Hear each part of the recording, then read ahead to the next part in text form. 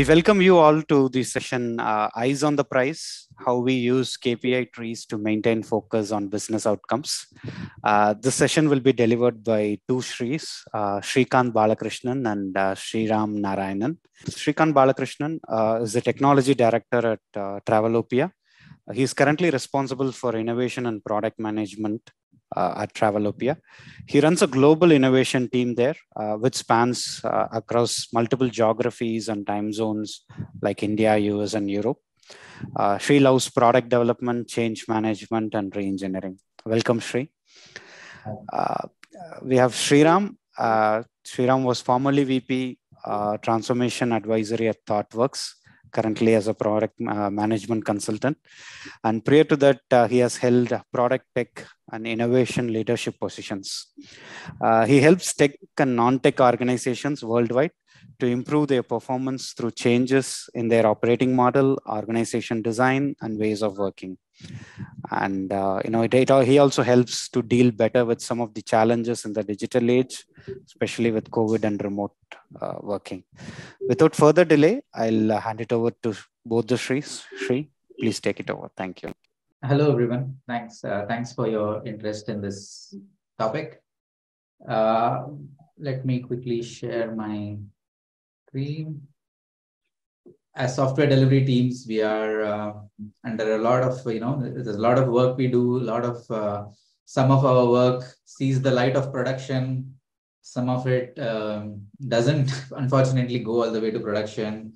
But this talk goes beyond that. It doesn't stop at production. It says, okay, so what if it went into production? What after that, right? How, how did it really help the business? Because if you think about it, like why do why do companies uh, invest in technology in the first place. Uh, they are looking for some kind of uh, some kind of benefit, right? Oh yeah, I skipped ahead of myself. I should have said that this, there are three sections in this talk. I'll be uh, taking the first and the last section, and the, the the part about how it's being used at Travelopia. I'll request uh, Shri to talk about that in the middle. So as I was saying, why why do companies uh, invest in um, invest in technology? Because ultimately they want some kind of uh, business benefit out of it right? They want to either grow their revenue or uh, or protect that re- protect their revenue reduce churn uh, or save some cost or um, they want to reduce risk uh, you know be in compliance with regulations. They want some business benefit. Um, and so they invest in technology right? But there is a there is a path from the investment to the business impact. There is a path and that path is generally understood as uh, uh, the inputs to impact sequence. So there is there are inputs, what you want to do, then there are a bunch of activities, then there is the output of those activities. That output results in some immediate outcomes, uh, but those immediate outcomes are really meant to create some ultimate business impact. Right. So this is known as the inputs to activities uh, sorry, inputs to impact sequence. And it is quite, it's well understood sequence, even in the social development sector. Um, they, they, they understand this sequence and they use this sequence. In I have drilled into that a little bit. I've expanded it out a little bit on this slide to say that there are two kinds of inputs. There are uh, decision inputs in order to make the investment decision. And there are execution inputs uh, to begin execution and for the ongoing execution, there are execution inputs, right? So what does this mean in our world? In our world of, uh, you know, um, when we are, when we are uh, supporting the business through the development of uh, digital capabilities, uh, or if we are building software products, right? What does, what does this map to? So a decision to invest in a feature or a capability or a digital initiative is usually backed by some kind of business case, right? It might be a formal business case or it might be an informal pitch, whatever it is. So there's a business case based on which there is a go no go decision like, okay, should we invest in this or not? Once the decision is made to invest, that's when you know you start planning for execution. And as part of the planning, you might do some specking out of what you want to build. You might describe it in the form of requirements, or you might describe it as hypotheses uh, and so on. Execution goes on. We, you know, there's a round of development, and then software goes live in production. Ideally, this whole process is iterative, right? It's not linear as it is shown over here. Um, but but we know that that is not always the case, right? Especially in large organizations. Although in theory they recognize it needs to be iterative, in practice it is often linear. So software goes into production, and then as an outcome, there might be a some kind of improvement in some low level metric what we call as uh, product analytics or service analytics. Uh, you know, typically it's a product or a service analytic. There is some movement in that low level metric. But what what we really uh, need, or you know, the reason why people decided to invest in that initiative or capability or feature, whatever it is, is because they were looking at this side of the picture. They were hoping for some business impact out of that investment, right? So movement in a metric that matters not just in a low level metric. So to, to take an industry neutral example, you know, let's say, uh, let's say you're, you're running some kind of business where you're operating a call center. And during the pandemic, for example, uh, people could not uh, work out of the call center. Uh, and at that time, there was a lot of talk about, hey, we need to switch to chatbots, right?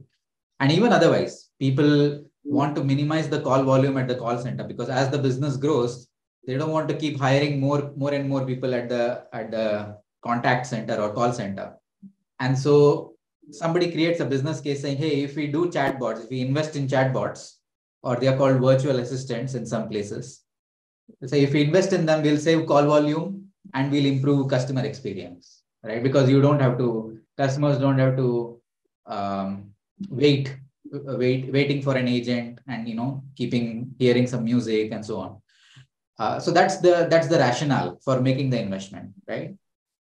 And ultimately, whether you whether you buy a chatbot, whether you build it, right? Uh, you might have to even if you buy it, you might have to configure it for your use case and so on.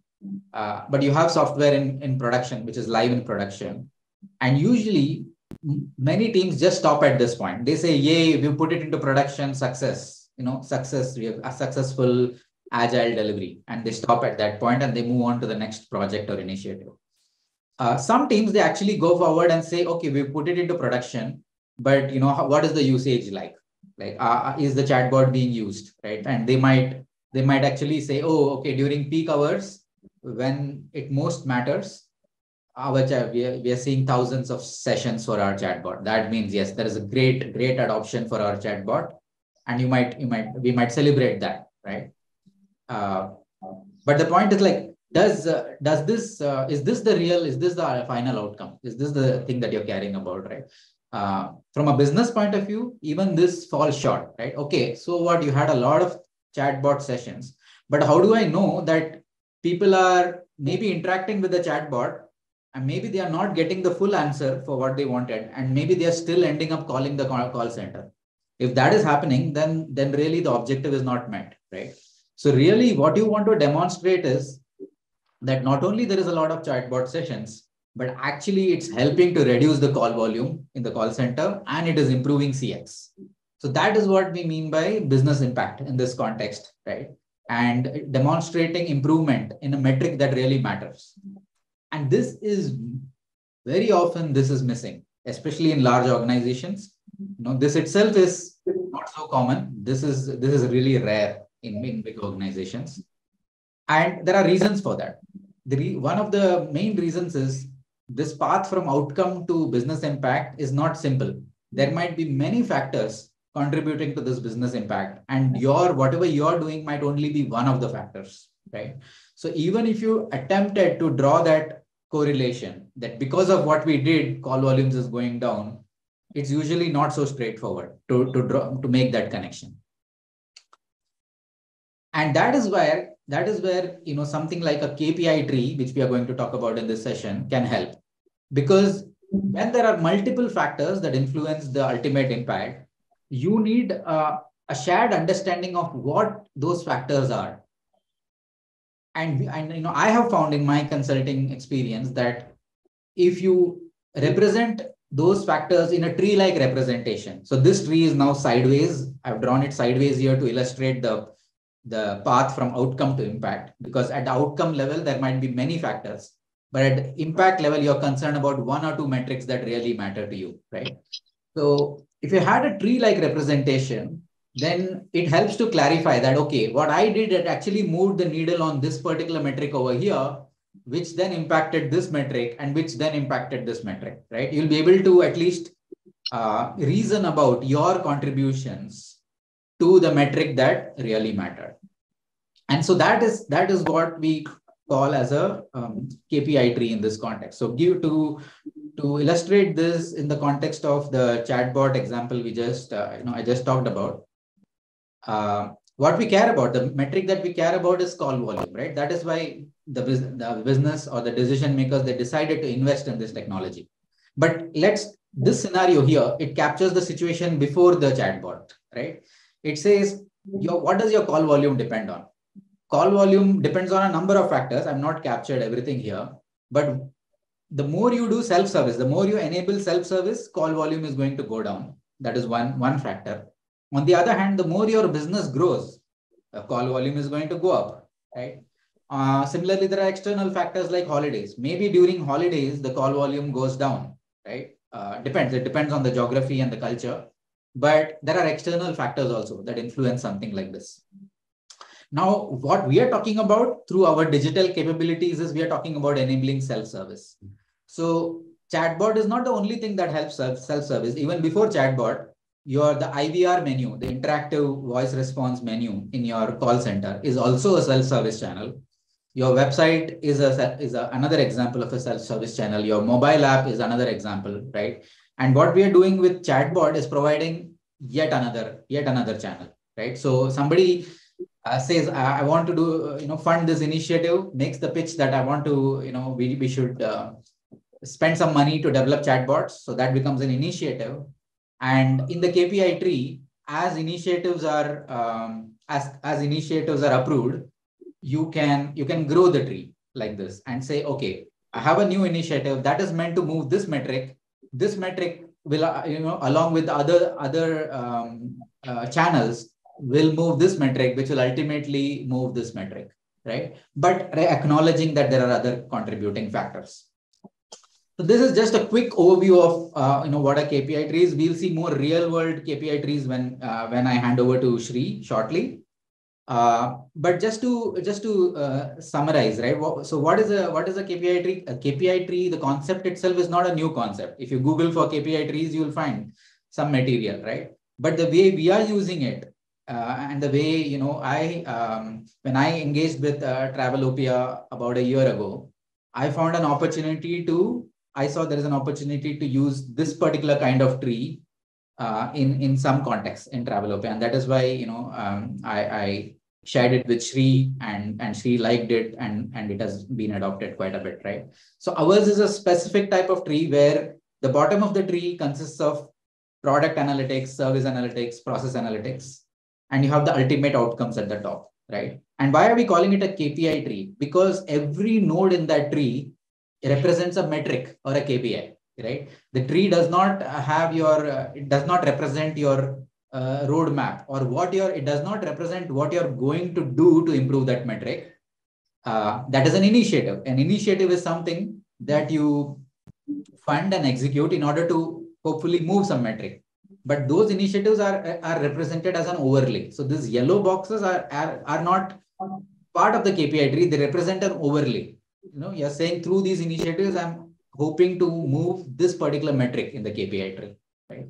So with that sort of context setting, I'll now hand over to Shri for um, taking us through how um, how we are using it at Travelopia. Over to you, Shri. Yeah, thank you, Ram. Uh, stop sharing one second. Yeah. Share my screen. Can someone confirm? Can you confirm, Ram? Can you see my screen full screen? Yes. Excellent. Anyway, good morning. Uh, good to see everyone. Good participation today. Thank you, Sriram, for setting the context. Uh, I, I, think uh, before I jump into uh, Travelopia and the context, I think one thing that we need to understand is, uh, like Sriram said, software delivery is one part of it, right? But how do we kind of constantly focus on it, we move the needle? And my challenge, whether I work in Travelopia and any other company, has been how do I do things to ensure that the outcome is moved uh, an outcome could be an overall top level funnel movement of a key metrics of the company. Uh, and in Travelopia, I'll give you a brief and why it is relevant for us. So uh, the, the just the introduction of Travelopia itself. So Travelopia is a KKR owned company and we are a portfolio. We have about 10 brands that represents Travelopia. Uh, and the number of projects at any point of time that we run will be 80 to 100 projects at a point in time, right? So the kind of con- the context which that leadership team, myself and other directors have to go through when we work with different brands is extremely crazy, right? So reading a lot of text is not not the easiest thing when we jump across projects. And uh, of course, when Sriram, uh, I, I, I got him as my advisor coach uh, on hey, how do we solve this at scale. And that's when I was discussing with him, saying, "Hey, I'm struggling with consuming so much of parallel information, and I can't really synthesize this information." And they started as a simple conversation, saying, "Hey, we should probably try this KPI tree and see if we can represent our uh, various set of brands information in the structure." Yeah. So that's the genesis uh, of KPI tree at Travelopia. Um, we actually took a real life example of one of the brands that I work in Travelopia uh, and kind of say, of course, I can't disclose the brand name, but uh, kind of high level masked all the uh, you know PII information, but at least it gives you a sense of how certain initiatives, which is if you look at the the pink color, yellow color, those are the outcomes, outputs that the technology team might be focusing on, which connects back to different project investment, which again connects back to different teams. Yeah. Uh, and if you look at the top one, which is the green color, the ultimate outcomes, that's when it kind of impacts the sales team or a customer experience team or a risk team or one of those teams, right? Um, so just to give you probably a, an example here, uh, I don't know if you can see my mouse movement. Can you, Sriram? Yes. Okay. So if you look at one of this example, the way it came to me was saying, hey, can you simplify the domain, right? Of course, we can simplify the domain because the brand had about 20, 25 domains running in 20 different websites. And we said, oh, we can simplify to one domain, two domain. But the question constantly was why? And then there was many answers that came, but we logged into saying it's either content discoverability or reducing the admin hours, which the hypothesis, again, this is an important one to remember. Whenever we are doing all this, business leaders tend to say, oh, I'm going to save X amount of time. But those are all generally hypotheses that needs validation, right? So this activity leads to this outcome of marketing reducing the admin hours, which further leads to reduce increasing the number of leads that enhances the sales, right? That's how we can tie it back to um, a, a, bottom node, which is yellow color, to the top green color node. Um, me, yeah, just to, uh, uh, yeah, just just expanding this a bit more on a very specific uh, use case. Um, so for example, uh, one of the projects that came was, hey, how do we uh, ensure that the sales team is increase uh, spending more time on newer sales, right? So we did an audit on what they are currently doing, and we figured out that they're spending too much time on after sales calls. Then we started looking at okay, they're spending too much time on after sales call. What all can we do, right? Um, and that's when we said if there is a self-serve portal, hopefully it will reduce the after sales call. Now, of course, it, it, it's to be seen whether that initiative will lead to that outcome of reduction of um, after sales call, but at least that's how the hypothesis is built and worked and uh, expanded internally. Yeah. Uh, how do we use it uh, in Travelopia? So we use it, for example, to track the brand outcomes. Like I said, I have 10 brands to deal with. Um, so brand outcomes, we kind of use it. We also have internal shared services. Um, so we also kind of use KPI to track what are the outcomes of the shared services, how does it impact different teams, different projects, different brands. Right? So those are two actual use cases that we kind of um, use it. Um, I mentioned a bit earlier about it, but I think the the, the and, and being a large organization, I mean, we are a 2,500, 3,000 people company globally. So to get um, access to the CXOs for these discussions are monthly ones or by month or once in two months, right? So the number of projects these the, the leadership team generally handles this quite a lot. So cognitive load reduction is definitely one of the biggest uh, challenges we had, and we're trying to reduce that uh, using a KPI tree. Yeah. Uh, and I, I, it's not just my statement. I also got it validated by some of the other CXOs who are using it, and they said, "Yeah, this makes sense because I can see all my initiatives that I've been telling people in one, one, you know, one snapshot. Um, very, uh, I mean, this uh, happened in the last couple quarters where uh, we kind of realized, like when you introduce the tool, of course, uh, leaders like me and Sriram would have kind of spent a lot of time initially canvassing for this tool. But later, when we start seeing adoption of the tool, it was it was interesting to see there are two interesting use cases that emerged uh, while using KPI tree, right? So one on the left side, uh, the project came saying, hey, can we do lead automation? So this yellow color that I'm pointing here is what came in as like an activity saying, hey, can we do lead automation, right? Uh, and why do we want to do lead automation? So this is lead automation is about assigning a lead to a, a particular salesperson as soon as the lead comes, right? Uh, and the as working assumption at that point of time was it'll improve conversion. All right. Uh, so when the project came to the technology team, it was just these two. Oh, let's do a new version of lead uh, lead module so that we increase the conversion. And when our product team went on a deep dive, um, they figured out that it's not just conversion. There are a lot of sub metrics that um, we, we can impact, right? So, for example, we can improve the percentage live leads, we can improve the average first time to attempt, we can improve the, the number of attempts, which increases the average first time to contact, hence improving the conversion. But the lead automation module only impacts the percentage live leads, right? So from, from a macro assumption that conversion will increase, we were able to kind of identify metrics and say, okay, that's a metrics that we can now start focusing and implementing if we do a new software, not all the metrics, right? So it was also kind of a bit of realization for the business saying, oh, just software, just just do software won't help we can potentially have to try different things to make conversion better, right? Uh, on the right side, I think this is another interesting example where if you look at the yellow initiatives, which is TX dashboard, TX we call it trip execution team, and uh, the DBD is day by day, which is again part of an operations uh, activity. Uh, and if you look at the top, this both was requested by one team, which is the trip execution team. Yeah. Now, the trip execution team only has so much time to participate in, in a development uh, activity, right? I mean, when I mean by participate, they need to participate in planning, daily stand-ups, rolling out, testing, and whatnot. And then when we realized it, hey, we are the, the team is asking for two initiatives, which is TX dashboard and day by day for guests.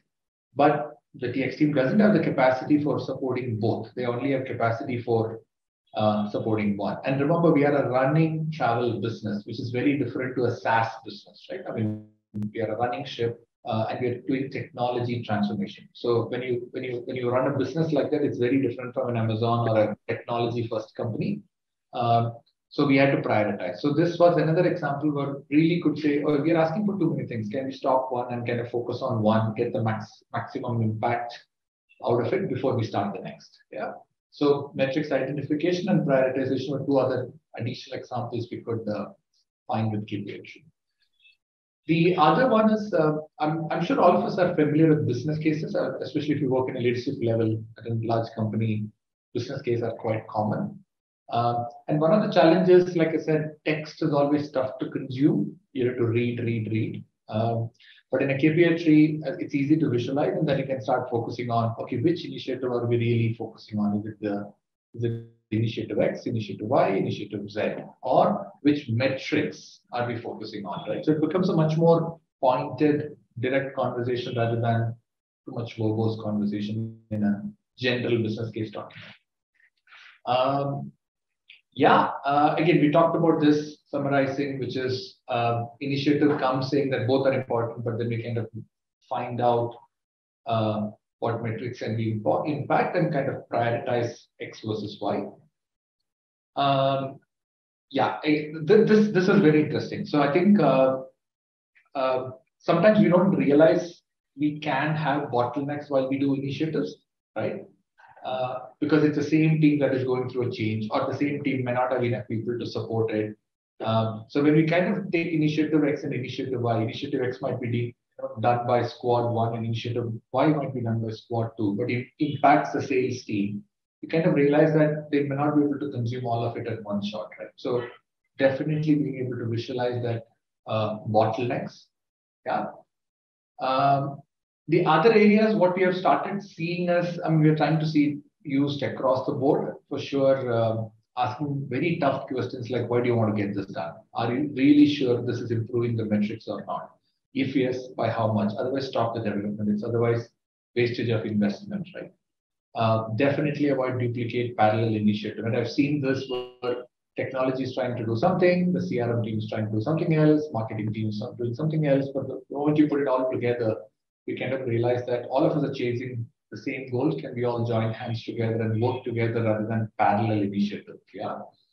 The, the third point was very interesting. I was sharing this with Sriram that, uh, I mean, of course, software engineers like to move around because they like newer, experiences. And uh, so what we realized is when new team members want to come on board, whether it is a product owner, QA, developers, sometimes earlier it used to take ages to explain the context, why we're doing what we're doing, and, and to excite the developer or one of the engineers. And this is super simple, right? Five minutes, you explain the context, everyone is onboarded, the bigger picture is clear, right?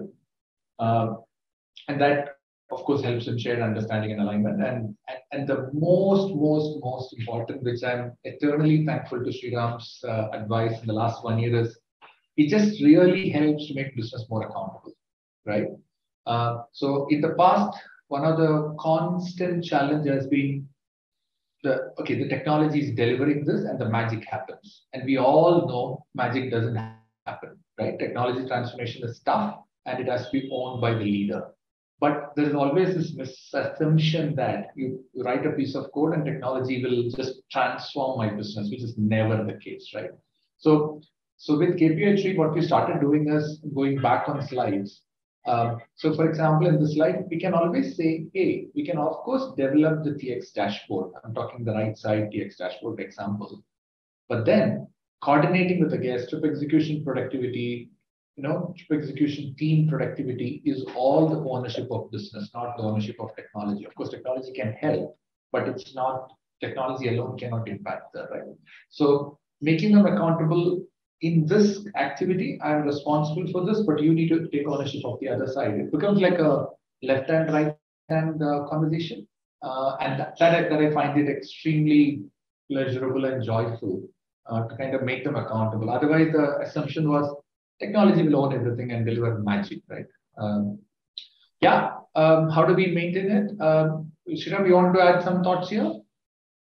Um, sure. I mean, there is, I think, one more slide uh, where I, I won't take over control, but I'll just quickly. Yeah. Uh, uh, so yeah, I, I, Travelopia was already using uh, Miro for a bunch of things, and so uh, we felt it a good fit to use uh, use it for this tree as well although you know you can you could even start off with uh, you know like if you're using office 365 then you know maybe you could even start off with powerpoint or if you're using something like lucid charts or things like that you know any any kind of collaborative diagramming tool that you have you could use it it needs to be owned by either a business owner or a business tech partner or a what is called as a business relationship manager in some cases mm-hmm. uh, or it could be owned by the uh, a product owner depending on your situation if there are trees, for, if you are doing trees for shared services, then the managers of those shared services could own those trees. Uh, the, the, then the extent, extending its use is that if you're also tracking, say, initiatives in Jira, right? You don't, you don't only have, say, Jira or Azure DevOps or whatever you're using. Um, so not only you have, say, epics and features, but you also have, say, initiatives mapped in Jira. Then you can put a link backwards and forwards from the KPI tree to Jira and back so that uh, even even you know everybody who people who live mostly in Jira can also have a tra traceability back to the KPI tree and vice versa. People who look at the KPI tree can go into uh, Jira as well, right? And so there are some details of how to do that, but you know you can. Um, yeah.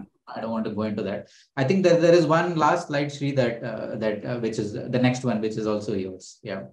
Uh, yeah.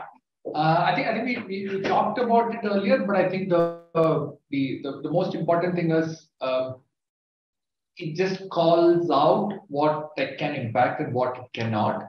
Uh, so in this case, we had a very interesting example where the business said, "Or oh, do this initiative, and the sales team will save a lot of time." Yeah, And when we first heard it, we said, yeah, fantastic. We'll jump in. We'll start building this module. We'll, we'll start solving this. And we all started building the initiative. It, uh, uh, we started doing things. And that's when we started using KPI. And it made us realize that uh, we can save time for the business by doing an initiative. But what will business do with the same time is something the business has to kind of figure out, right? It can't be owned by the tech. So I think, again, this was a great example where sometimes we think it's common sense, but it's not so common sense, right? People don't recognize that uh, it's a common knowledge. So the moment we had KPI, we said, yeah, we'll finish this initiative, but then saving time goes back to the pillar head or the business head to see what exactly he can do at the same time, right? So some very interesting, detailed, a healthy conversation uh, KPI facilitated for us, which is fantastic. Uh, yeah, I guess uh, it's back to you, Ram, right? From the next slide. Yes, yes. Thank you, Sri, Hi. for doing that.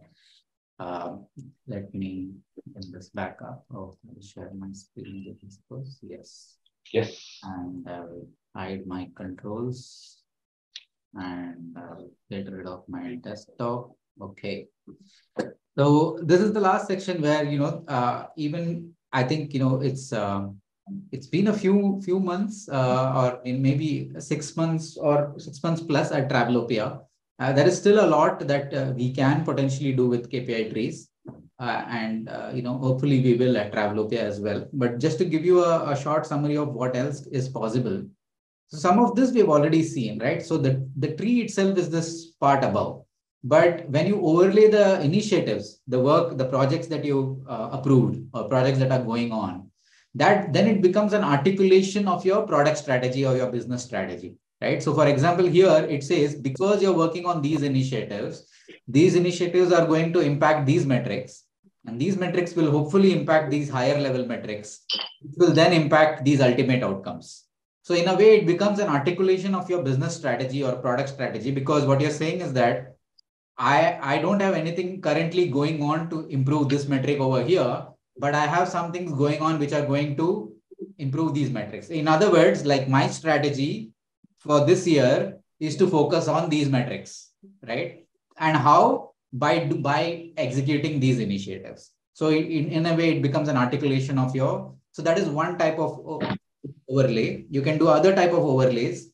For example, if you want to, you already have a plan or a roadmap but and you might have like uh, quarterly plans right? But you could overlay that plan saying okay this is what i plan to do in the first quarter second quarter and third quarter. And you know what is the benefit that the business can expect through those uh, through those initiatives is like you know they can again follow through the tree and understand that. So it's a it's you're overlaying your map uh, or, a, or a plan on the kpi tree to make it more useful. That's another type of overlay uh, if you're if you're using OKRs, for example, right, then you might already have uh, some kind of visual representation of your OKRs, but you could also map them to, to this tree here, right? Because they are different things. The okay, you know, KPI trees are are something more basic. They, they, the KPI tree itself does not say what you are going to do, what your goals are, what your targets are. No, the KPI tree is just saying oh, what is the what is the what are the forces in your business you know what are the what are the lower level metrics? How do they influence the higher level metrics? And so on right? It's it's telling the long term story of your business. But with the help of overlays you can make it more interesting. So here here what we have done is we have overlaid these objectives and key result key results onto the tree here. So then people can understand that oh my, this is my key result but uh how does it really matter? Because I'm, I'm supposed to do this thereby achieve this key result but that is then going to hopefully make a difference here and which will hopefully then make a difference at this level, right? Because there is objective is at this level, key, key result is at this level, right? So that is another, another uh, use case. There are some advanced use cases where we I have in the past uh, help clients who had um, challenges with prioritization. There are multiple stakeholders and there are difficult decisions to be made about prioritization. I have helped them use a KPI tree to move away from prioritizing the actual work hmm. and instead focus on the outcomes. And so use the tree to prioritize outcomes. Like, you know, through this quarter's efforts, we want to move this metric and this metric in the tree. and then once you prioritize outcomes, then after that, prioritizing the work becomes much easier because you're just mapped, you already mapped the work to the tree saying, you know, this, this initiative is going to impact this metric and so on. So I call that as prioritize outcomes, not work. And, uh, you know, that is a bit of an advanced use case, but it is also possible. Uh, talking about the relative importance. So Shri already showed one example with a sales funnel where basically once you once you visualize that uh, you know a particular initiative is going to help in the middle of the funnel and another initiative is going to help in the top of the funnel right so which one do you do first right and if you know that the situation is that you have a bottleneck in the middle of the funnel right if you know that there is a bottleneck in the middle of the funnel and the tree helps visualize that then it becomes no brainer that you have to focus on the bottleneck first there is no point in prioritizing an initiative which is going to generate more leads because that is the top of the funnel and you have a bottleneck in the middle, right? So that is one use case. Similarly, you can overlay a customer journey uh, on the relevant subsets of the KPI tree to, to understand, to when you're making decisions about initiatives, those kind of overlays can help. And finally, uh, the, the part about, you know, this um, understanding the contribution of your initiative. Like you, you did something like you developed a chatbot did it really help save call volume how much right that is a that is a whole other topic uh, called business retrospectives um, which is which is a method that i've um, i've uh, evolved over a period of time with clients. And uh, it that really helps to improve the business impact of investments and initiatives. A quick overview of that i'm just checking how I'm, i guess i have another five minutes so i should be fine. Um, is that you know basically uh, think of business retrospective any retrospective. If you talk about a scrum retrospective for example right what is uh, what is it really about? It's uh, it's about continuous improvement right? We do retrospectives in order to continue continuously improve. However the typical scrum retrospective is just an execution only retrospective like sprint after sprint or whatever you're doing a retrospect on you know just the just the execution part of the thing right? Uh, whereas, for example, people uh, who've uh, read the Lean Startup book, who are familiar with build, measure, learn kind of loop and so on, that is a slightly you know outer feedback loop where you're measuring the outcome. And here still we're not talking about the ultimate outcome. We're talking about this product analytics, service analytics. But still that is better where you're uh, measuring your product analytics. And based on that, that is informing the next round of execution, which is this is essentially what the build, measure, learn loop was, right? Uh, but really, if you want to talk about like, did my, did I had immediate outcomes, that's fine, but did it really result in impact, right? So the difference between a lot of chatbot sessions as the outcome versus actually a savings in call volumes, right? If you want to bring that loop into place, then that's where um, the framework or the method called business retrospectives uh, will help because they help you complete these uh, outer loops. Because now we begin to say, okay, we have this chatbot, but can we demonstrate that because of the chatbot, call volume went down by 2%, right? Similarly, in Sri's example, right? Uh, we, we did this self-service. We have reduced the after-sales overhead for the sales guys. But can we demonstrate that as a result, they were able to attend to more sales calls and sales actually went up as a result? That those kind of retrospectives would be this outer loop, right? But you need a lot of measurement infrastructure in place to, to be able to um, uh, put these out, outer loops into place. And a lot of organizations, they don't have the measurement infrastructure in place.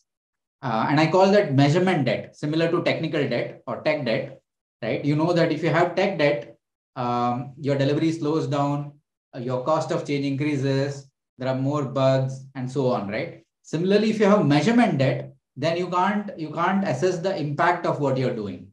And so as part of the business retrospectives method i have a module that actually um, puts a measurement improvement program in place. So the ceo or the cfo uh, has to fund a measurement improvement program so that you can get rid of measurement debt and then you can actually activate these loops right? But that's a much larger topic. Uh, what we've seen so far mainly uh, with KPI trees, uh, even in the Travelopia case, is the first module of business retrospective, which is alignment module. And as, as Sri um, uh, shared, already that is having a lot of benefit. but you can go all the way. There are, there are many more modules and uh, out of the six modules, four modules make good use of the KPI tree. The other modules don't necessarily require the KPI tree. But this is a, a separate topic. If you're interested in it, if you're if you're in a, a position where you believe uh, you want to improve the business impact of investments in technology, then you know um, do get in touch, and I'll be able to happy to share more about this with you. Yeah. So that's uh, that's all uh, uh we had to share. Um, happy to uh, answer any questions or if you have any comments, happy to hear them. Thanks, Sri.